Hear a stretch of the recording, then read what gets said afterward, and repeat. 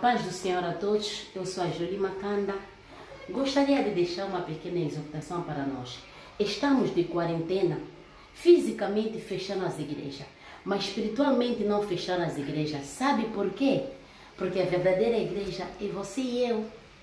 Por isso, nessa fase de quarentena, façamos como Paulo e Silas, mesmo estando preso, cantavam, louvavam, oravam a Deus.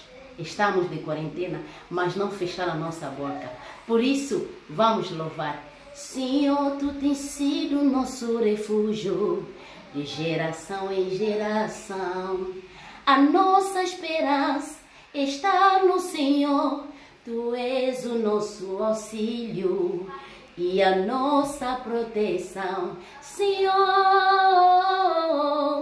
a sua mão nos cobre e o seu poder nos livra dessa pandemia.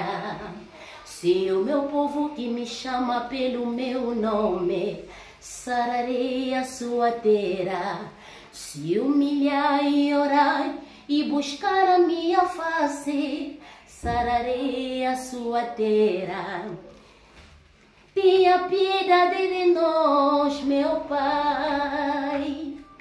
Senhor, tenha piedade de nós, oh Deus. Senhor, livra-nos dessa grande pandemia. Deus, a nossa proteção.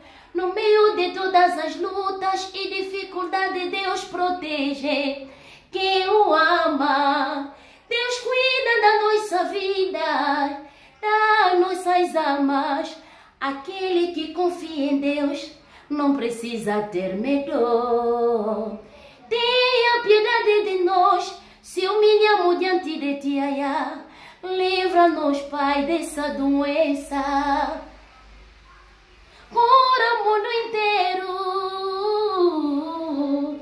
Muita gente precisa da sua ajuda, Pai. Cura,